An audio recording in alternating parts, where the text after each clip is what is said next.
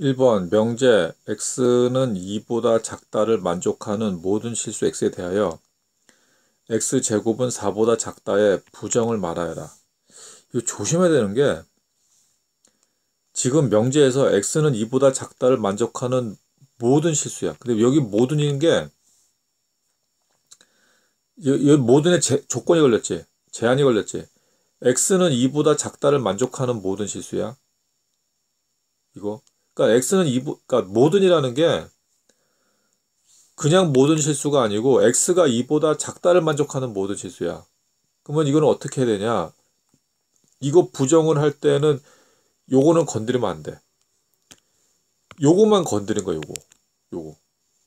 요 모든을 제한하는 거잖아. 모든을 제한한 거기 때문에 모든만 건드리고 그다음 요것만 건드릴 그러니까 부정을 건드릴 부정을 받아 그러면 요 두 개만 바꾸면 돼. 두 개만. 그래서 x가 2보다 작다를 만족하는 만, 족, 하, 는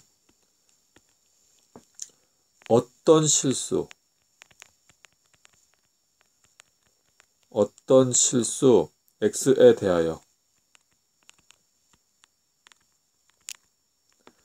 어떤 실수 x에 대하여 요거 바꿔줘야 돼. x 제곱은 작다, 4보다 작다. 그래서 x 제곱은 4보다 크거나 같다, 2다.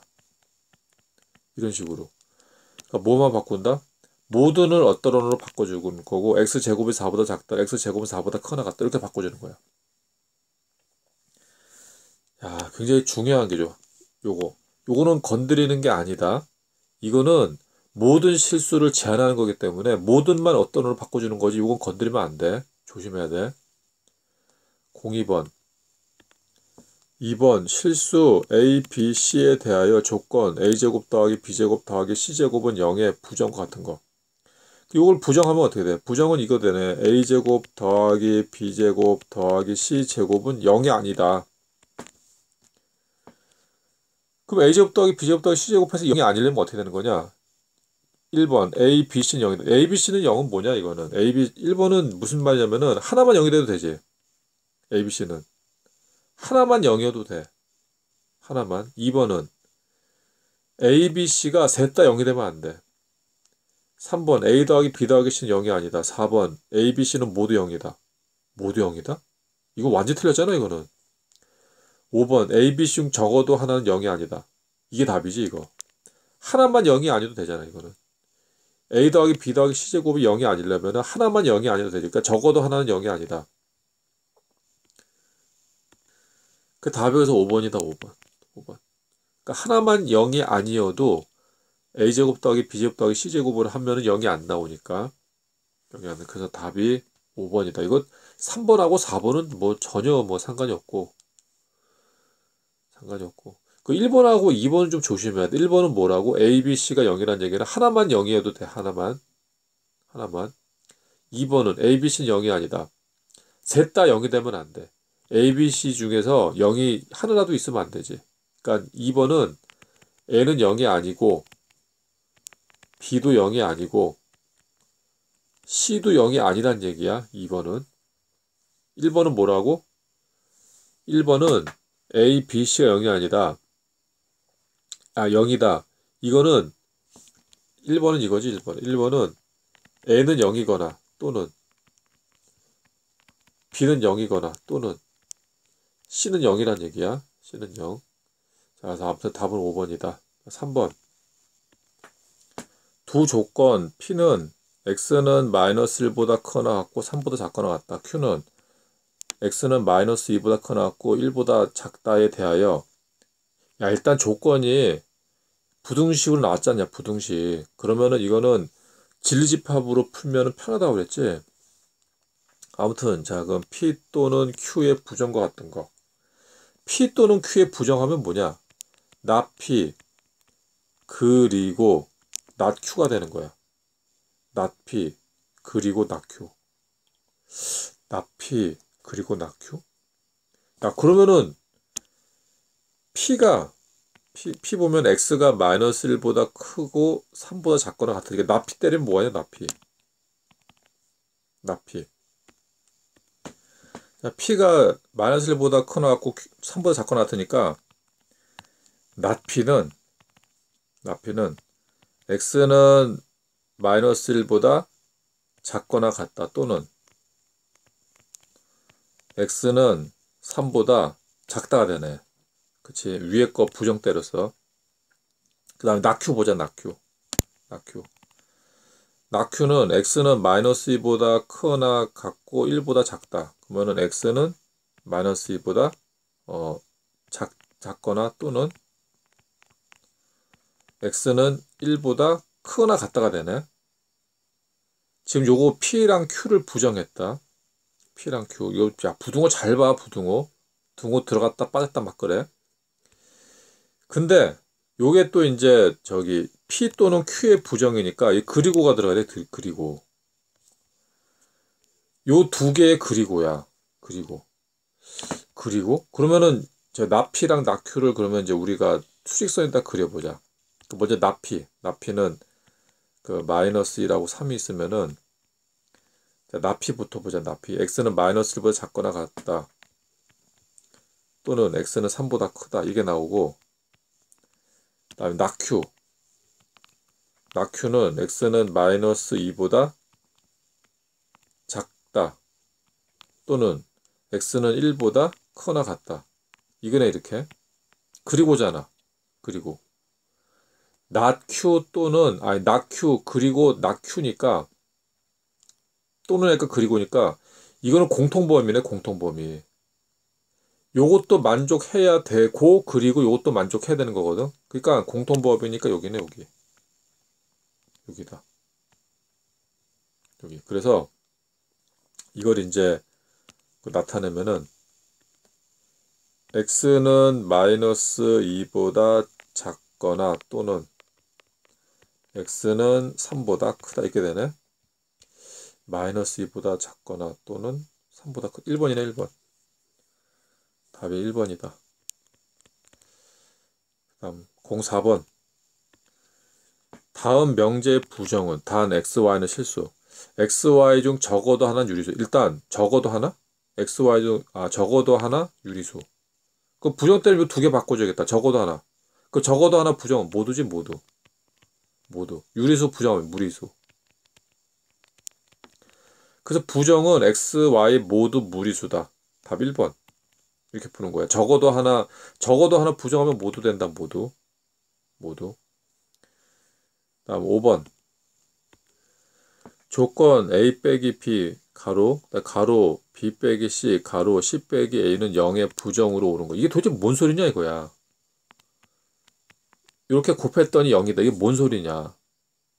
이게 뭔 소리냐면은 요게 0이던지 아니면은 요게 0이던지 아니면은 요게 0이 하나만 0이어도 곱하면 0 나오지. 그러니까 이게 의미하는 게 뭐냐면은 A랑 B랑 같거나 또는 B랑 C랑 같거나 또는 C랑 A랑 같으면 된다고. 그러면은 하나만 0이어도 다 0이니까 곱하면은 그럼 이걸 부정하면 뭐야? 이거 이거 부정하면은 아, 부정하면 이렇게 되겠다. 부정하면은 A랑 B랑 다르고 그리고 B랑 C도 다르고 그리고 C랑 A가 다르라고. 그러니까 A랑 B랑 다르고 B랑 C랑 다르고 또 C랑 A랑도 달라야 돼. 그 뭔데 그게? 야 2번이잖아. A, B, C 모두 다른 수제에. 그러니까 의미를 찾는 거지 이렇게. 그래서 5번은 2번이다. 6번. 명제 모든 사람은 수학 또는 영어를 좋아한다의 부정은 모든 사람은 수학 또는 영어를 좋아. 그럼 여기서 이제 고쳐야 되는 게 일단 모든 사람은 수학 또는 영어 이거 그리고로 바, 바꿔야 되고 나 영어를 좋아한다. 그 좋아하지 않는다지. 이걸 부정하면 이렇게 돼. 어떤 어떤 사람은 어떤 사람은 수학 그리고 영어를